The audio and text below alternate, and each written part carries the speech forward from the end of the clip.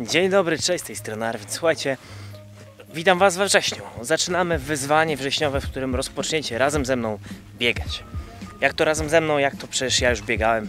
Nie, słuchajcie, wyobraźcie sobie, że kiedy zaczynacie biegać tak po raz pierwszy lub kiedy wracacie po długiej przerwie, to Wasz organizm tak naprawdę na nowo musi się nauczyć lub przyzwyczaić ponownie do biegu, bo bieg jest wysiłkiem, do którego nie jesteśmy przyzwyczajeni i od którego organizm potrafi się bardzo łatwo odzwyczaić. I teraz to, co będziemy robić na początku, czyli to, do czego Was w tej chwili zapraszam, to będzie budowanie tak zwanej bazy biegowej. Czym jest baza biegowa? Wyobraźcie sobie, że ok, organizm musi się przyzwyczaić do mechaniki biegu, czyli do tego, że biegamy, że machamy rękami, nogami, te sprawy, ale też musi się nauczyć do tego, żeby dostarczać nam energii oraz żeby nauczyć się, uwaga, uwaga, dostarczyć tlenu do mięśni. Wydolność, czyli to, na czym będziemy pracowali w pierwszych tygodniach, bo budowanie bazy biegowej trwa od 4 do nawet 12 tygodni tak naprawdę. Ta wydolność to jest coś, co ciężko, ciężko zmierzyć, więc posługujemy się tak naprawdę wskaźnikiem znanym nam jako pułap tlenowy. Nie będziecie go sami w żaden sposób w stanie zmierzyć tak naprawdę, ale zagwarantuję Wam, że to, co będziemy teraz robić, będzie go budowało. Czym jest ten pułap tlenowy? Ano jest tak jakby umiejętnością organizmu do tego, żeby przenosić odpowiednią ilość tlenu do mięśni, którego potrzebują w danej ilości. A im bardziej się wysilacie, czyli im bardziej będziecie biec, im większy wysiłek będzie Was to kosztowało, tym więcej tego tlenu będzie potrzeba, prawda?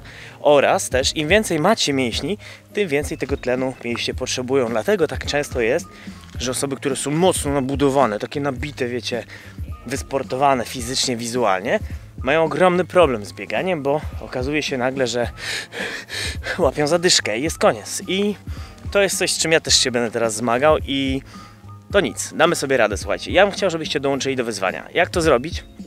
Pierwsza sprawa, deklarujecie się teraz w komentarzu, że będziecie biegać 3 razy w tygodniu po 45 minut. To jest takie totalne minimum. Prawidłowe budowanie bazy będzie wymagało około 5 biegów w tygodniu, słuchajcie. Z czego dwa, z czego trzy to są właśnie takie spokojne, krótkie biegi. Krótkie. A jeden to jest taki długi bieg. No i jeden to taki bieg wypoczynkowy. I mamy dwa dni przerwy. Te dwa dni przerwy są, nie mogą następować po sobie, muszą być gdzieś tam wplątane.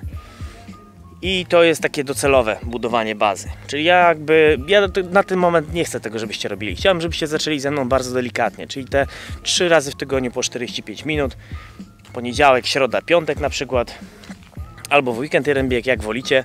Poniedziałek wolny na przykład, żebyście mogli spokojnie iść do pracy. I teraz dwie kolejne rzeczy. Chciałbym, żebyśmy od razu pracowali nad naszą energią, czyli nad tym, co tak naprawdę jest najważniejsze w tym wszystkim, czyli nad tym, z czego się składacie czyli nad tym, co wkładacie do buzi. Ten ruch to jest największa zbrodnia, jaka istnieje, bo wtedy się popełnia najwięcej błędów, czyli to, co jemy. Więc ja bym chciał Was na dzień dobry prosić o dwie rzeczy. Pierwsza sprawa, rezygnuje się ze słodkości. Ze wszystkiego, co jest zbędne, czyli e, zbędne, czyli wszystkich ciastek, słodyczy, cukierków, czekoladek, ok?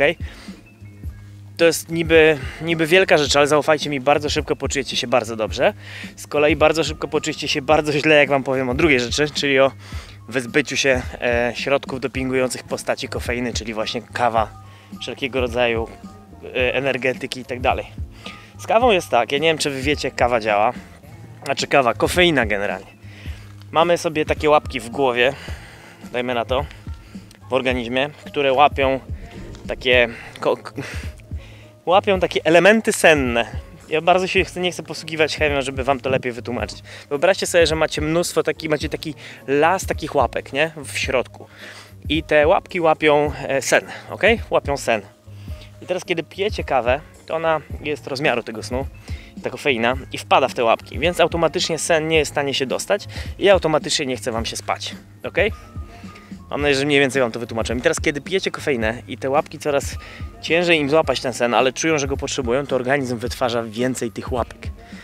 I to jest ten moment, w którym się zaczyna bardzo zła rzecz, bo tych łapek się robi coraz więcej, musicie pić coraz więcej tej kofeiny, a potem jak nagle odstawicie, to te łapki nadal tam są i to w tej zwiększonej ilości.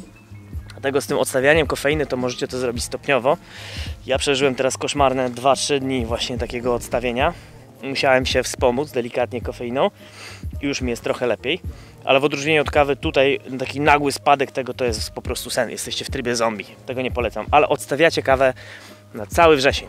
Raz, poprawi Wam się samopoczucie. Dwa, nauczycie się korzystać z regeneracji, bo wymusi to na Was prawidłowy sen i dbanie o swoją energię. A trzy, poprawicie rytm serca, bo kofeina może i działa w jakiś tam sposób na serce pozytywnie, tam wiele osób o tym mówi, ale też manipuluje tym rytmem. Ona nie pozwala mu na taki naturalny rytm, który powinien być. I jednocześnie ponosi Wam ten tętno, takie stałe, to tętno, o Jezu, spoczynkowe. No, więc tyle ode mnie. Biegamy trzy razy w tygodniu, nie jemy słodyczy, nie pijemy żadnych dopalaczy. Jesteście za, wchodzicie w to, piszecie w komentarzu, że wchodzicie, udostępniacie to znajomym, którzy powinni dołączyć do Was, bo wiecie, ja jestem fajny, ze, mnie, ze mną fajnie Wam będzie biegać, ale to będzie bieganie wirtualne. Najfajniej się biega z kimś, kto jest obok, piesek na przykład, ale najlepiej, żeby to był człowiek, żeby też się w to wziął, wkręcił i razem z Wami powalczył o lepszą formę. Więc tagujcie, oznaczajcie, wysyłajcie wszystkim, pamiętajcie, subskrybujcie mój kanał i łapeczki w górę, ok? Na razie.